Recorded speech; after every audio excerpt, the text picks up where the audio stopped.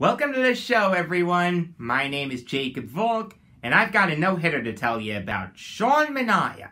No-hit baseball's best tonight. The Boston Red Sox, as they enter tonight with an MLB leading 17-2 record.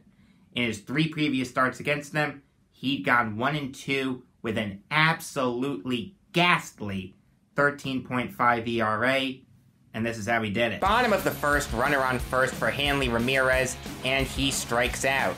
Next batter up is JD Martinez, and he strikes out swinging. Top of the third, he's up 1 0 now. Jackie Bradley Jr. and Tzu-Wei Lin strike out. Manaea's feeling it now. Top of the fifth, he's up 2 0. Sandy Leon hits a pop up to short left center field. That is botched by Marcus Semien. You can see here the ball hits off the heel of his glove, and the official scorer would later give him an error. Oh, don't be sad, Marcus. You didn't ruin Manaea's night. The no-hitter's still intact, buddy. It's all good. Top of the sixth now. Another scare coming up. A's up 3 0 Andrew Benintendi hits a slow roller down the first base line, and he dodges the tag from Matt Olson.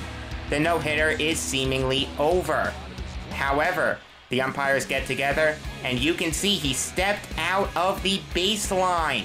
He is ruled out. The no-hitter is still alive.